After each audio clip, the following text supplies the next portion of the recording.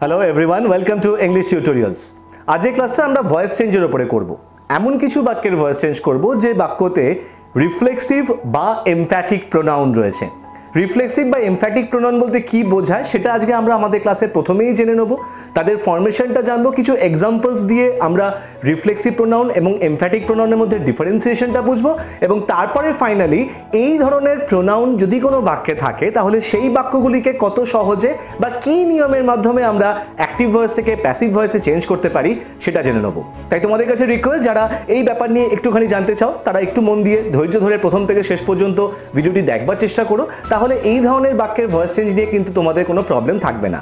আর যদি মনে হয় যে ভিডিওটি হেল্প করতে পারে বা ভালো লাগছে, তাহলে প্লিজ ভিডিওটিকে লাইক করতে ভুলো না শেয়ার করতে ভুলো না। সাবস্ক্রাইব না করে থাকলে এখনও পর্যন্ত প্লিজ সাবস্ক্রাইব করে নিও। বেল আইকনটাকে প্রেস করে রেখো, যাতে ইন ফিউচার লিটারেচার গ্রামার বা spoken English oriented video notification তোমরা কেউ মিস না করো। তাহলে চলো প্রথমেই আমরা একটু জেনে নিই যে রিফ্লেক্সিভ প্রোনাউন বা এমফ্যাটিক প্রোনাউন বলতে আমরা কি বুঝি। দেখো pronouns are called reflexive pronouns when the action of the verb turns back on the subject অর্থাৎ সোজা কথায় বলতে গেলে যে সেই সমস্ত প্রোনাউনগুলোকেই আমরা রিফ্লেক্সিভ প্রোনাউন বলব। যে প্রোনাউনগুলো একটি বাক্যের ক্রিয়ার অবজেক্ট এবং যে প্রোনাউনটি আবার ওই বাক্যের সাবজেক্টও অর্থাৎ আরও সিম্পলিফাইড ওয়েতে বলতে গেলে একটি বাক্যের সাবজেক্ট অর্থাৎ কর্তা, এবং সেই বাক্যের অবজেক্ট অর্থাৎ কর্ম, যদি সেম হয়, তাহলে অবজেক্ট রূপী যে প্রোনাউনটি আমরা পাবো কোনো একটি বাক্যে সেই বাক্যের ওই প্রোনাউনটিকেই আমরা বলব রিফ্লেক্সিভ প্রোনাউন এর থেকে সোজা কথায় জানলাম কি? না রিফ্লেক্সিভ প্রোনাউন কিন্তু কোনো একটি বাক্যের সর্বদা অবজেক্ট বা কর্ম হবেই। আবার এই রিফ্লেক্সিভ প্রোনাউনটাকেই আমরা এমফ্যাটিক প্রোনাউন নামেও অভিহিত করতে পারি বা কিছু কিছু বাক্যে সেম প্রোনাউনটাই রিফ্লেক্সিভ প্রোনাউন না হয়ে এমফ্যাটিক প্রোনাউন নামে পরিচিত হতে পারে। কোন কোন ক্ষেত্রে? না যখন ওই প্রোনাউনগুলোই বাক্যে অবজেক্টের ভূমিকা না পালন করে ক্রিয়ার ওপর জোর দেওয়ার জন্য ব্যবহার করা হয়। অর্থাৎ কোনো একটি কর্তা কোনো একটি ক্রিয়া করেছে বা সম্পাদিত করেছে এবং সেই বিষয়টার ওপর জোর দিয়ে বলবার জন্য যখন ওই প্রোনাউনটিকে ব্যবহার করা হয়, তখন কিন্তু তাকেই আবার আমরা এমফ্যাটিক প্রোনাউন বলব। তাহলে আবার ইন শর্ট রিফ্লেক্সিভ প্রোনাউন কিন্তু একটি বাক্যের সর্বদা অবজেক্ট হবে। এমফ্যাটিক প্রোনাউন কিন্তু ওই বাক্যের কোনো ক্ষেত্রেই অবজেক্ট হবে না। এমফ্যাটিক প্রোনাউনের মুখ্য কাজ হবে শুধুমাত্র ক্রিয়ার ওপর জোর দিয়ে বোঝানোর জন্য। তাহলে রিফ্লেক্সিভ প্রোনাউন এবং এমফ্যাটিক প্রোনাউনের ডেফিনেশনটা এবং ছোট্ট করে তাদের পার্থক্যটা হোপফুলি আমরা বুঝতে পেরেছি। কি করে ফর্ম করব আমরা এরকম রিফ্লেক্সিভ প্রোনাউন তাহলে আমরা একটু সেটা দেখে নিই। দেখো রিফ্লেক্সিভ প্রোনাউন বা এমফ্যাটিক প্রোনাউন একই তো জিনিস অর্থের ওপরে বা ব্যবহারের ওপরে কিন্তু তাদের শুধু নামের পার্থক্য। এরা কোন প্রোনাউনগুলো? না, সেই প্রোনাউনগুলি যাদের শেষে সেলফ বা সেলফস যোগ থাকে। অর্থাৎ myself yourself himself herself themself ইত্যাদি ইত্যাদি। তাহলে রিফ্লেক্সিভ এবং এমফ্যাটিক প্রোনাউনের কয়েকটা উদাহরণও আমরা দেখলাম। এবার যেটা আমরা দেখব সেটা হচ্ছে যে কি করে এই প্রোনাউনগুলো আমরা ফর্ম করে নিই। দেখো, এক্ষেত্রে আমি দুটি কলাম তোমাদের জন্য করে রেখেছি। একটা হচ্ছে বেস প্রোনাউন অর্থাৎ নাম দিয়েছি তার, অর্থাৎ বেস প্রোনাউন বলতে আমরা একদম প্রোনাউনের প্রাথমিক রূপটাকে ধরছি। এবং সেই প্রোনাউনটি রিফ্লেক্সিভ প্রোনাউন কিরমভাবে ফর্ম হয়েছে? দেখো আই থেকে হয়েছে মাইসেলফ অর্থাৎ আই সিঙ্গুলার নাম্বার আমি মাইসেলফ করেছি। তাহলে এক্ষেত্রে আমরা একটা জিনিস মাথায় রাখব যে যখন কোনো প্রোনাউনের রিফ্লেক্সিভ বা এমফ্যাটিক ফর্ম আমাকে করতে হবে, তখন কিন্তু আমরা সেলফ যোগ করব। আর প্লুরাল যদি হয়, তখন আমরা সেলফস করব। তাই সেই জন্যই আই থেকে মাইসেলফ উই থেকে আওয়ার সেলফস ইউ থেকে ইয়োর সেলফ অথবা ইয়োর সেলফস অর্থাৎ ইউ প্রোনাউনটি আমরা সকলেই জানি। সিঙ্গুলার নাম্বার হিসেবেও ব্যবহৃত হতে পারে প্লুরাল হিসেবেও হতে পারে। যদি ইউ সিঙ্গুলার নাম্বার হিসেবে ব্যবহার হয়, তাহলে ইয়োরসেলফ হবে তার রিফ্লেক্সিভ প্রোনাউনের ফর্ম আর প্লুরাল হলে ইয়োর সেলফস একই রকমভাবে himself herself themselves itself তাহলে রিফ্লেক্সিভ প্রোনাউনের ফর্মগুলো আমরা বুঝতে পেরে নিয়েছি। কিছু উদাহরণ দেখা যাক বাক্যে, তাহলে কিন্তু আমাদের কাছে রিফ্লেক্সিভ এবং এমফ্যাটিক প্রোনাউনের মধ্যে ডিফারেন্সটা এবং ব্যবহারটা একদমই ক্লিয়ার হয়ে যাবে। দেখো তাহলে প্রথম যে বাক্যটি আমি উদাহরণ হিসেবে দিয়ে রেখেছি, সেটা হলো হি কাট হিমসেলফ এক্ষেত্রে এই বাক্যটির প্রধান বা মুখ্য ক্রিয়াপদ কোনটি? না কাট কাটা। আমরা সকলেই জানি যে বাক্যের মুখ্য ক্রিয়াপদকে বা প্রিন্সিপাল ভার্বকে যদি আমরা কি বা কাকে, অর্থাৎ হোয়াট বা হুম দিয়ে কোশ্চেন করি, তাহলে ওই বাক্য থেকে যে আনসারটা আমরা পাই, সেই আনসারটি কিন্তু ওই ভার্বের অবজেক্ট তাহলে এক্ষেত্রে কাট অর্থাৎ কাটা, আমি যদি এই কাটা কথাটিকে কাকে দিয়ে প্রশ্ন করি, অর্থাৎ কাকে কেটেছে, তাহলে আমরা উত্তর পাচ্ছি কিন্তু হিমসেলফ তাকে। তাহলে এই হিমসেলফ কথাটা কিন্তু বাক্যের অবজেক্ট আবার অ্যাট দ্য সেম টাইম এই হিমসেলফ নামক রিফ্লেক্সিভ প্রোনাউনটি কোন প্রোনাউন থেকে ফর্ম হয়ে এসছে? না হি হি কিন্তু বাক্যের সাবজেক্ট। তাহলে আমরা দেখলাম কি? না, বাক্যের সাবজেক্ট যে প্রোনাউন রিফ্লেক্সিভ প্রোনাউনটিও কিন্তু সেই সাবজেক্ট থেকেই ফর্মড হয়েছে এবং সেটি অর্থাৎ ওই রিফ্লেক্সিভ প্রোনাউনটি ওই বাক্যের অবজেক্ট হিসেবে পারফর্ম করছে। একই রকমভাবে I saw myself in the mirror তাহলে আমি যদি স ভাবটাকে কাকে দিয়ে প্রশ্ন করি? যে কাকে দেখেছিলাম? মাইসেলফ পাচ্ছি উত্তর, আমাকে দেখেছিলাম। তাহলে এই মাইসেলফ কথাটিও দেখো রিফ্লেক্সিভ প্রোনাউন বাক্যের অবজেক্ট এবং এই মাইসেলফ কথাটি ডিরাইভড হয়েছে কিন্তু বাক্যের সাবজেক্ট আই থেকে। একই রকমভাবে they put themselves in risk we pitied ourselves তাহলে রিফ্লেক্সিভ প্রোনাউনটা আশা করি তোমরা বুঝতে পেরেছ। এই বাক্যগুলি উদাহরণগুলো ফলো করবার পরে, অর্থাৎ অবজেক্ট হবে রিফ্লেক্সিভ প্রোনাউন এবং এই রিফ্লেক্সিভ প্রোনাউনটা বাক্যের সাবজেক্টেরই কিন্তু একটা ফরমেশন হবে। এবার একটু দেখে নেওয়া যাক এমফ্যাটিক প্রোনাউনের বাক্যের উদাহরণগুলো। হি হিমসেলফ কাট দিস অর্থাৎ দেখো, এক্ষেত্রে বাক্যের প্রধান সাবজেক্ট হি তারপরেই কিন্তু হিমসেলফ কথাটা রয়েছে এবং বাক্যের প্রধান ক্রিয়াপদ হচ্ছে কাট কিন্তু এক্ষেত্রে যদি আমি কাট ভার্বটিকে কাকে দিয়ে কোশ্চেন করি বা কি দিয়ে কোশ্চেন করি, তাহলে কিন্তু উত্তর পাচ্ছি দিস তাহলে এই বাক্যতে কিন্তু দিস কথাটি হচ্ছে কাট ভার্বের অবজেক্ট কিন্তু তাহলে এখানে হিমসেলফ কথাটি কেন ব্যবহার হয়ে রয়েছে? হিমসেলফ কথাটি এক্ষেত্রে জোর দিয়ে বোঝানোর জন্য ব্যবহার হয়ে হয়ে রয়েছে। অর্থাৎ হি হিমসেলফ কাট দিস মানে সে নিজেই কেটেছে এটা। এই যে আমরা অনেক সময় বাংলায় বলি না, নিজেই করেছে, আমি নিজেই গিয়েছি, আমি নিজেই শুনেছি, সে নিজেই দেখেছে এই যে জোর দিয়ে বলবার সেন্সটা, সেই সেন্সটাই কিন্তু এক্ষেত্রে হিমসেলফ কথাটা আমাদের কাছে কনভে করছে। তাহলে হিমসেলফ কিন্তু এই বাক্যতে অবজেক্ট নয়, এর ফাংশন বা এর ভূমিকা শুধুমাত্র জোর দিয়ে কোনো কিছু জিনিস বোঝানোর জন্য।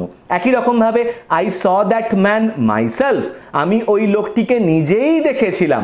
এক্ষেত্রেও কিন্তু বাক্যের অবজেক্ট হচ্ছে দ্যাট ম্যান মাইসেলফ এখানে কিন্তু অবজেক্ট নয়, এটা কিন্তু এমফ্যাসিস দেওয়ার জন্য ব্যবহার হয়ে রয়েছে।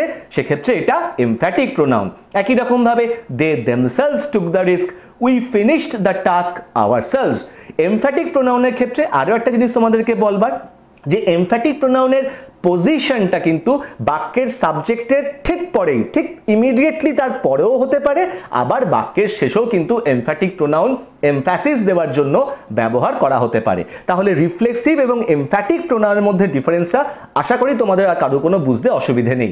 এবার তাহলে আমরা সরাসরি চলে যাব যে এই ধরনের প্রোনাউন যুক্ত বাক্যগুলির ভয়েস চেঞ্জ আমরা কীরকমভাবে করব। প্রথমেই আমরা দেখব যে যে বাক্যতে রিফ্লেক্সিভ প্রোনাউন রয়েছে, সেই বাক্যের ভয়েস চেঞ্জ কীরকমভাবে হবে। একটা উদাহরণ দেখা যাক।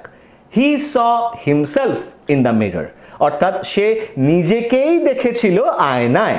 তাহলে আমি যদি এই বাক্যটির সাবজেক্টকে আইডেন্টিফাই করবার চেষ্টা করি প্রথমে, তাহলে আমরা কি পাচ্ছি সাবজেক্ট হি বাক্যের অবজেক্টকে আমরা কি হিসেবে পাচ্ছি? না হিমসেলফ এবং বাক্যের টেন্সটাকে আমাকে চিনতে হবে।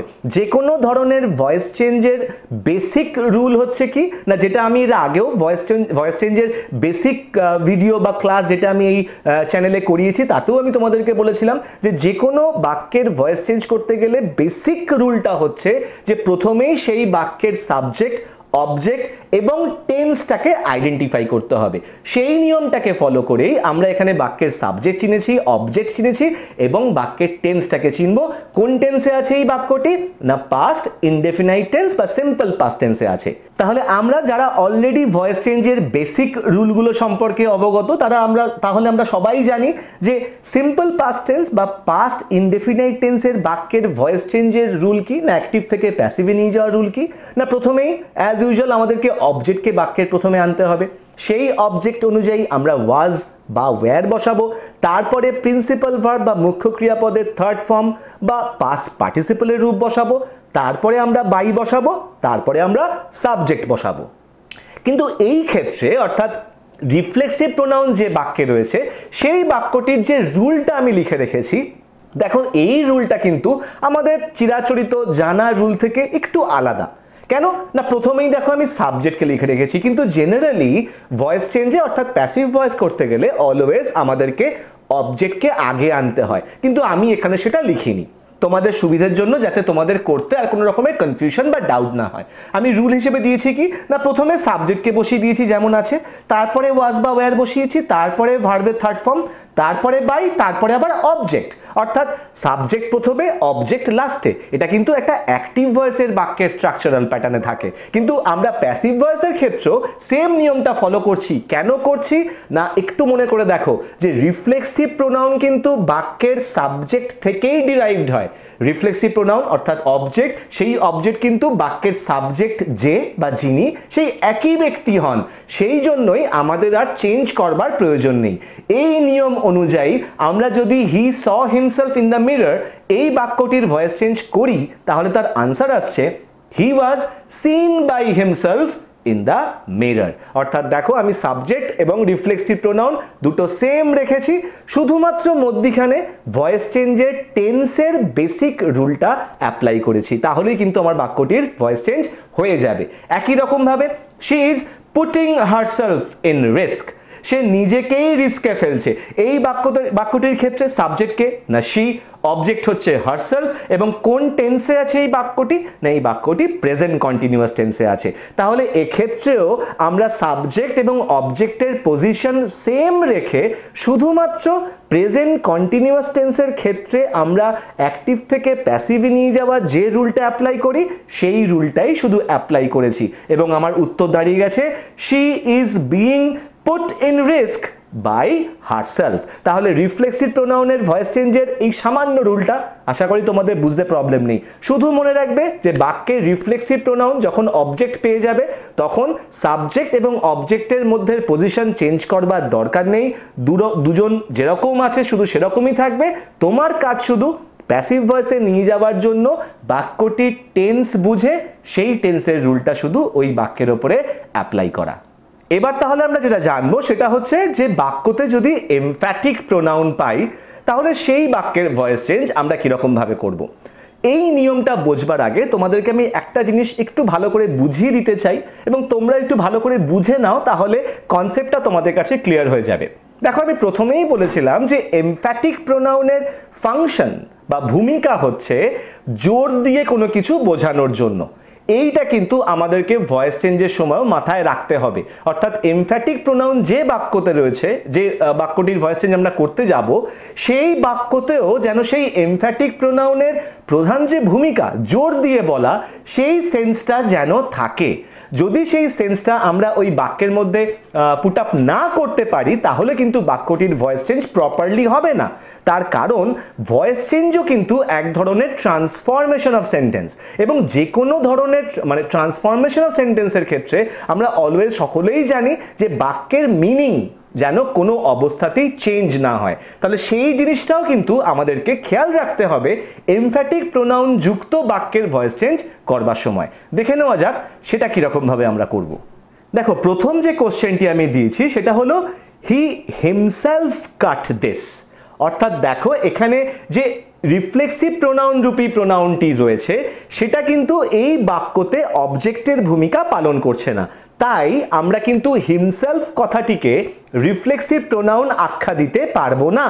এটা কিন্তু শুধুমাত্র এমফ্যাসিস দেওয়ার জন্য বোঝানো হচ্ছে।